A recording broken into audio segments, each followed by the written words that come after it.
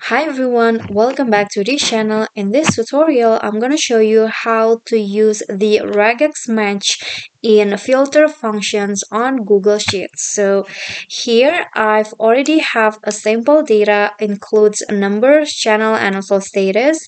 And in here, uh, we usually use the regex match with filter. So you can't use uh, regex match uh, a filter and you can also you can also find the regex match options or function in uh, Microsoft Excel. So it only uh, appear in the Google Sheet. So here to uh, regex match is usually used to find a match uh, like uh, like filtering a certain match like a value in your data.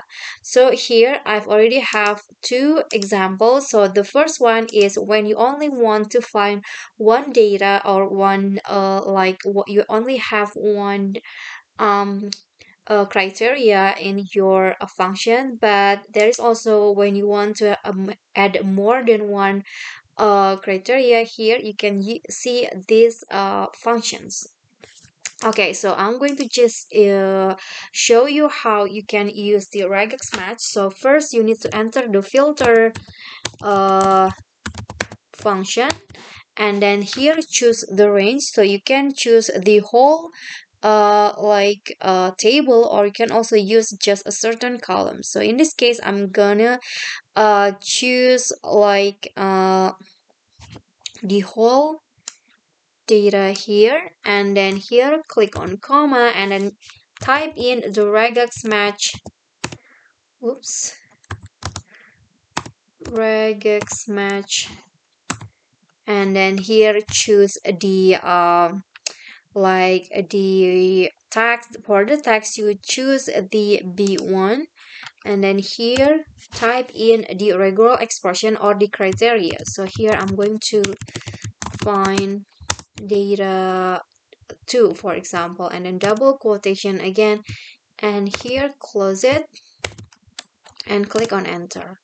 And after that the filter will call only data, the data to in this table so what if you want to like uh, call more than one uh, regular expression like data 1 and data 2 you can just choose this uh, you can just use the same function but here after data 2 you use the vertical pi uh, pipe. Here vertical pipe, uh, pipe uh, symbols and then click on data for example data 4 and then close it with double quotation and then click on enter. And after that it will uh, call the data 2 and 4 in your uh, source data here. Okay so that's basically how you can use regex match in filter function on google sheets. I hope this video will be helpful to you. If you got any question feel free to drop them in a comment. And if you think this video is helpful Please don't forget to click on like and subscribe to our channel. I'll see you all in the following videos. Thank you.